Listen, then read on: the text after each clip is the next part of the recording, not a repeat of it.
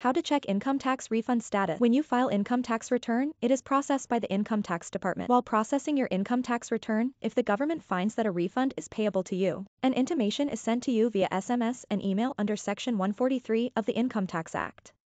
The intimation letter shows the amount of refund that will be credited into your account along with a refund sequence number. You can check your ITR status on two portals. Follow these steps. Sign into your account by entering PAN, password, date of birth and CAPTCHA code. Click on View Return slash Form. From drop-down menu, select Income Tax Returns and Relevant Assessment Year. Your acknowledgement number will be visible as a hyperlink. Click on it. Once you click on it, a pop-up page will appear showing the timeline of filing of returns such as when your ITR was filed and verified, date of completion of processing, date of issue of refund etc. BTIN NSDL portal. Write your PAN.